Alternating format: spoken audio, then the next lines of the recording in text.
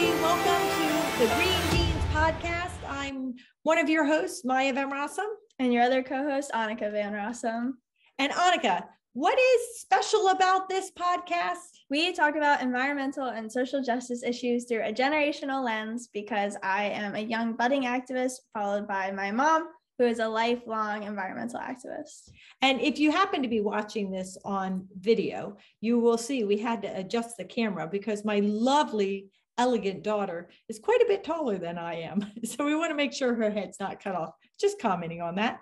Um, but we are going to take a little bit of a break for the holidays um, because we figure all of you are engaged in festivity festivities with your family and friends or um, looking forward to a happy new year or perhaps just spending time on your own pondering nature pondering life um, pondering any number of things we all have different ways of going through this year end period of time but whatever you're doing we wish you well and we figure you're not going to be li- listening to our podcast but we did want to share with you a little bit about our family tradition when it comes to this time of year where we're engaged in gift giving.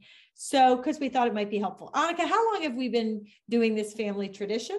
I mean, I'm 25, so at least 25 years. Yeah. So, actually, this is a tradition handed down through the generations. We have a lot of traditions around this time of year. We're Dutch, so we celebrate Sinterklaas. Um, we also celebrate Christmas and we celebrate uh, year end. And each of those, except the year end, involves gift giving. And we believe in environmental environmentalism. And so, Annika, what is that three step saying that we always talk about with the three hour, hour arrows? Reduce, reuse, recycle. And so, what's the what's the most important aspect of those three words that I taught you throughout the entirety of your life? To reduce.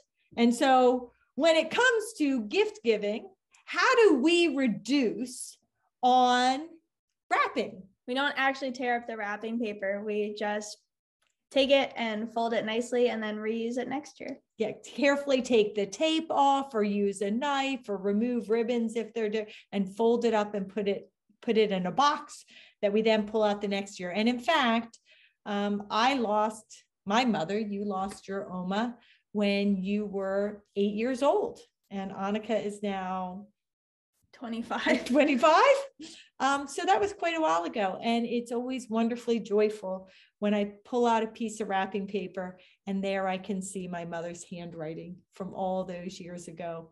Um, and it's just beautiful and it's loving and it helps save the earth. Although, you know, sometimes eventually the paper gets so small or so ratty, it does end up in the fire or in the recycling but it stays around for a long time. So we don't spend much money on wrapping paper. The other newest thing that we've added, and I think Annika, you actually told me about this, it's not using paper at all.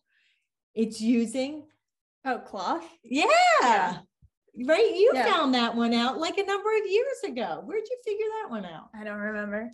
but it was really cool. And Annika came in with like one of these beautiful scarves that we had and, and said, Mom, why don't you wrap gifts in that? So now we sometimes use scraps of cloth to wrap um, gifts. And of course, we always reuse boxes. So if you're engaged in gift giving over this holiday season or any other time of year, that's a great way to help protect the environment. Yeah. So, with that, that's our little holiday tip for you. We hope that you all have enjoyed the podcast and we have lots of exciting stuff coming in the new year, lots of exciting new guests that we're excited for you to hear their personal stories and environmental stories.